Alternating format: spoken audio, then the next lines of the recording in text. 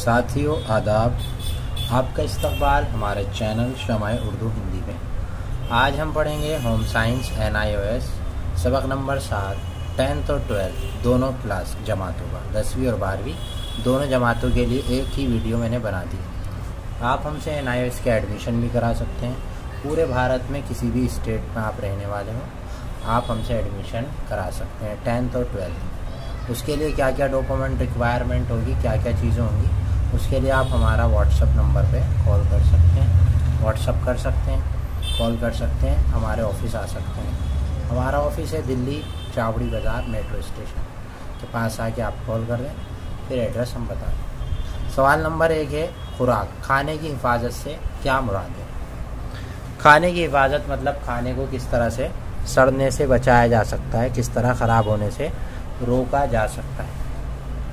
तो इसका पहला पॉइंट यही है कि खाना, खुराक यानी खाने के तहफ़ का मतलब फ़ूड प्रिजर्वेशन खाने के अशिया को ख़राब होने से रोकना और मुस्तकिल के इस्तेमाल के लिए मुनासिब हालत में रखना के लिए प्रिजर्व प्रोसेसिंग का तरीका है। दर हकीकत खुराक खाने को महफूज करने से उस खाने की शेप और शेल्फ लाइफ बढ़ जाती है। ठीक है शेल्फ लाइफ बढ़ जाती है, ज़्यादा देर तक खाया जा सकता है। उम्मीद है ये वाला सवाल समझ में आ गया हो। दूसरा सवाल है, अब इसके अंदर जो दूसरा सवाल है, वो काफ़ी लंबा है और चार ही सवाल हैं इसमें। उम्मीद है कि छोटा सा छोटा सा वो है। खाने को महफूज करने के मुख्तलिफ़ घरेलू तरीके बताएँ ये मैंने पाँच तरीके लिखे हैं यहाँ पे और इन पाँचों को बहुत अच्छे से एक्सप्लेन करा आगे। खुराक, खाने को महफूज करने के लिए घरेलू तरीक़े मंदरजा झेल खुश्क और पानी की कमी नमक, मसाले और तेल के साथ अचार, जाम यानी शरबत, जेली और मॉरमाइट बनाना, स्क्वैश और जामुन की, जूस की बोतलों में भरना। वक्त। आए अब इनको तफसील से जानने की कोशिश करें। ये तो मेन मेन पॉइंट है। आप इन्हें तफसील से पढ़ेंगे, भाई, खुश्क और पानी की कमी क्या है ये सब? ठीक है तो चलिए अब हम इसे पहला है खुश्क होना और पानी की कमी। इसका मतलब है खाने की अशिया में मौजूद पानी को खुश्क करना। यानी जो भी खाने की अशिया है, अगर उसके अंदर पानी है, किसी भी शक्ल में शोरबे की या कुछ तो वो जल्दी ख़राब हो जाएगा बनस्बत इसके के। खुश्क तो पानी को खुश्क कर लें। जब खाने में पानी बाकी ना रहे तो माइक्रो ऑर्गेनिज़म खाना काम नहीं करते। धूप में खुश्की खुश्क करने के तरी, धूप में खुश्की खुश करने के तरीक़ों में से सबसे आसान और सस्ता ज़ाहिर बात है, धूप में रख दें। एकदम जो है, आपकी चीज़ें सूखने लगेंगी। और जो है, सबसे आसान और सबसे सस्ता उपाय है। सबसे सस्ता तरीक़ा है, पैसे भी नहीं खर्च होंगे, बस छत पे रखना है। ना गैस खर्च हो रहा, ना वक्त खर्च हो रहा।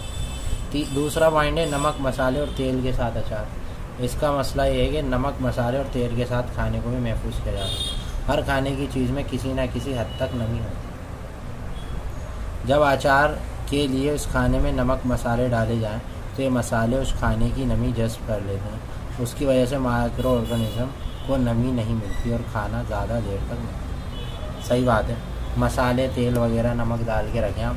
उससे क्या होगा, जो भी तेल वगैरह है ना मतलब जो शोरबा या पानी है, वो सब ये मसाले, नमक और तेल जज्ब कर लेंगे। और जब ये सब मिलके उसे जज्ब कर लेंगे तो माइक्रो ऑर्गेनिज़म जो खाने को चढ़ाते हैं, उनको जगह नहीं मिलेगी और आपका खाना महफूज हो जाएगा। तीसरा है अचार। अचार या तेल की तह खाने की अशिया को हवा के रबते में आने से रोकती है, यही माइक्रो और जो है तेल भी बात है, अचार पे आप अचार में तेल क्यों डालते हैं? क्योंकि माइक्रो ऑर्गेनिज़म इसको रोकती है और जिससे जो है अचार वगैरह ख़राब नहीं होगा अगला सवाल है इसका क्या जाम, जेली और मॉर्मेड मुख्तलिफ़ किस्म के फलों से जाम, जेली और मॉर्मेड बनाया जाता है और बहुत तवील अरसे तक महफूज किया जाता है। सही बात है, जेली आपको कितनी कितनी पुरानी मिल जाती है। शरबत हो, ये सब चीज़ें। स्क्वैश और बोतलिंग, मुख्तलिफ़ किस्म के फलों को जूस को स्क्वैश की शक्ल में महफूज किया जाता है। पाँचवा पॉइंट है, मुंजमित करना। मुंजमित का मतलब क्या होता है भाई? मुंजमित का मतलब होता है किसी चीज़ को जमा देना। किसी चीज़ को जमा देना। इस तरीके से मुख्तलिफ़ खाने की अशिया को मौसम में ऑफ़ सीज़न के लिए महफूज किया जा सकता है। मतलब जिस मौसम में वो चल नहीं रहा, जैसे आम है, या आपका अदरक है, या कोई और चीज़ है, जो दूसरे सीज़न में नहीं मिलती, मटर है तो आप क्या कर सकते हैं, उसे जब वो सस्ती बिक रही हो और ताज़ी बिक रही हो, उस टाइम पर आप उसे स्टोर करके रख लो मुंजमित जमा के रख लो बाद में जब उसे दूसरा सीज़न में इस्तेमाल करने का हो तो जब उसे निकाल। मिसाल के तौर पे जब मटर सर्दियों में सस्ती और अच्छी दस्तियाब हो तो उन्हें गर्मियों के लिए ज़ख़ीरा किया जाता है। यानी उन्हें मुंजमद करने के तरीके से मुस्तकिल में इस्तेमाल के लिए महफूज किया जाता है। यही सारे तरीक़े मैंने आपको बताए। पाँच तरीके हैं, बहुत अच्छे से एक्सप्लेन भी कर दिया मैंने आपको कि भाई कैसे कैसे करना है, और ये आपको सारे बता दिए अब इसके बाद तीसरा सवाल है, उसकी तरफ़ चलते हैं। छोटे छोटे सवाल हैं, कोई ये नहीं कि भाई बड़ा पहाड़ हो या कुछ हो। अगला सवाल है खुराक, यानी खाने को महफूज रखने की तीन वजूहत बताएँ। ठीक है? भाई खाने को क्यों महफूज करके रखते हैं? इसकी वजह।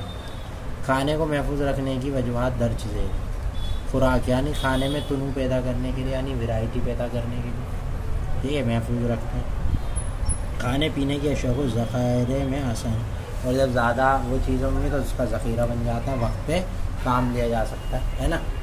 खाने पीने की अशा को तमाम जगहों तक पहुँचाना। अगर हम उसे ज़ख़ीरा नहीं करेंगे तो जिन तक वो नहीं पहुँची, जहाँ पहुँचनी चाहिए उन तक नहीं पहुँचेगी। अगर ज़ख़ीरा नहीं करेंगे, महफूज नहीं करेंगे। इसी वजह से उनको दूसरी जगह तक पहुँचाने के लिए महफूज करें ज़ाय होने से बचाने। और अगर महफूज नहीं करेंगे तो सबसे बड़ी बात तो यही है कि भाई वो ख़राब हो जाएगा, ज़ाय हो जाएगा। ठीक है तो ज़ाय होने से भी बच जाएगा। ये वाला सवाल भी उम्मीद है समझ में आ गया। अब इसका आखिरी सवाल है भाई और इसके भी जो है पाँच पॉइंट है, बहुत अच्छा है, छोटा सा है, कि फलों को खुश करते वक्त किन बातों का ख्याल रखना चाहिए। फलों को अगर खुश करके रखना चाहते हैं, खुश करके तो किन बातों का?